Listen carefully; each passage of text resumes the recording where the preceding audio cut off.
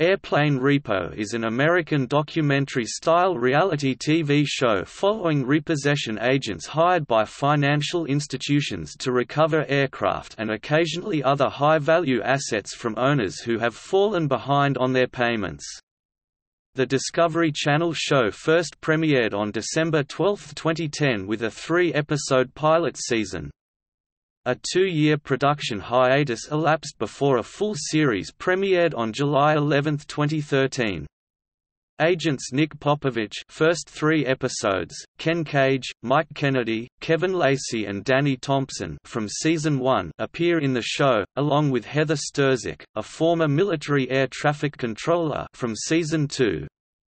Popovich claimed that later episodes are unrealistic, Beginning with Season 3, the episode intro states that events have been recaptured and some details have been changed. This is to help clarify and explain the use of fixed security cameras, used in the repo events, in an attempt to duplicate or produce found footage style cinematography. Season 2 premiered on August 22, 2014.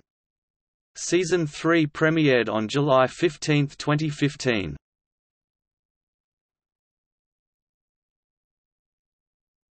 Topic: Episodes.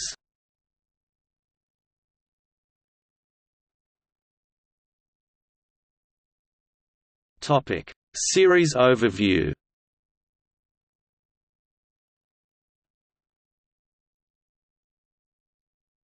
Topic: Season 0, 2010-11.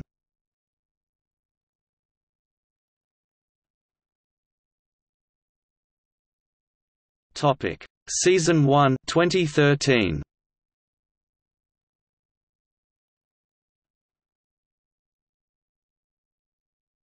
Topic. Season 2 2014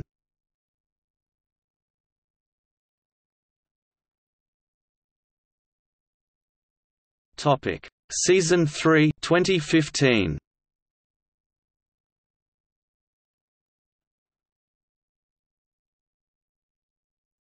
Topic: Broadcast.